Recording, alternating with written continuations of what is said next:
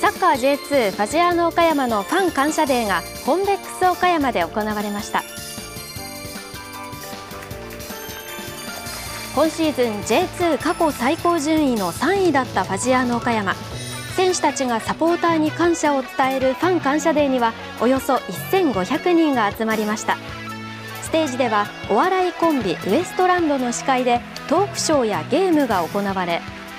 選手によるオリジナルグッズのプレゼントや3年ぶりとなるサイン会も開かれました。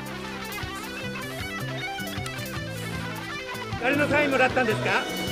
さんです。今年久しぶりに参戦できて本当に良かったです。楽しめて選手との距離もすごく近くなってはいもう最高でした。イベント最後の挨拶ではチームを率いた木山監督がサポーターに感謝を述べましたそして今シーズン果たせなかった J1 昇格に向けて全力で頑張ると決意を新たにしました。皆さんの顔が切れて僕たちも改めてエネルギーをましたし、えー、しっかりと、えー、シーズン頑張りたいなという気持ちになりました。サポーターとの触れ合いを力に変えたファジアーノ。